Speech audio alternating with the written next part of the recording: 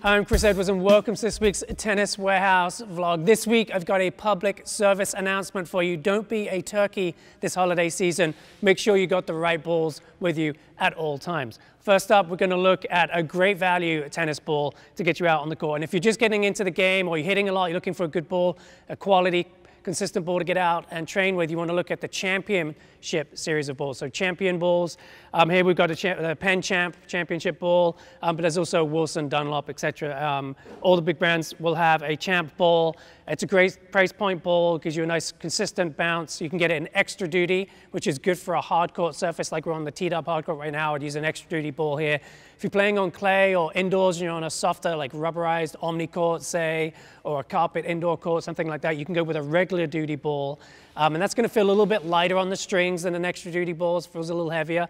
Um, the regular duty ball um, will not last as long on a hard court like this, but on a softer surface, it's going to last just fine and it's a great way to go. So that's the difference in the kind of um, extra duty versus regular duty felts. And when you're shopping for those, quite often regular duty will just be abbreviated to RD and extra duty XD. So uh, look out for that when you're shopping. Now stepping up a little bit in uh, performance of a tennis ball, we've got here the Penn Tour ball and also the Dunlop ATP ball. And this is a good tournament ball. Um, you'll be using a ball like this a lot at collegiate level play or league level play. Um, so a good ball out there. I've played a lot of tournaments um, with these tennis balls. Really nice, again, consistent bounce. You can get them in extra duty um, and regular duty, and you can also get them in uh, altitude. Um, so you get a high altitude ball, and that will be a uh, low pressure or pressureless tennis ball. And when you're playing up at a high altitude, it affects the, uh, the air pressure in the ball, and they get super flighty and fast and ridiculously high bouncing, um, kind of unplayable. So there's a special ball when you're playing at high altitude. So be sure to check out our website for that option um, if that pertains to you.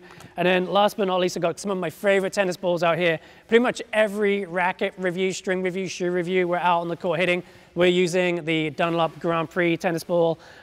Another notable mention also is the Wilson US Open ball. These have a really nice woven felt, so it's got the premium quality felt. They last really long, they bounce well. The, uh, the Dunlop Grand Prix especially, I find, um, lasts probably better than any ball um, we have right now in stock. It just uh, bounces really well forever.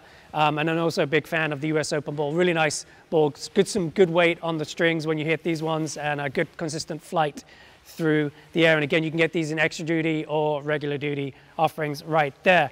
So with that said, get out there, hit some tennis balls in your local tennis courts, and I'll catch you next time.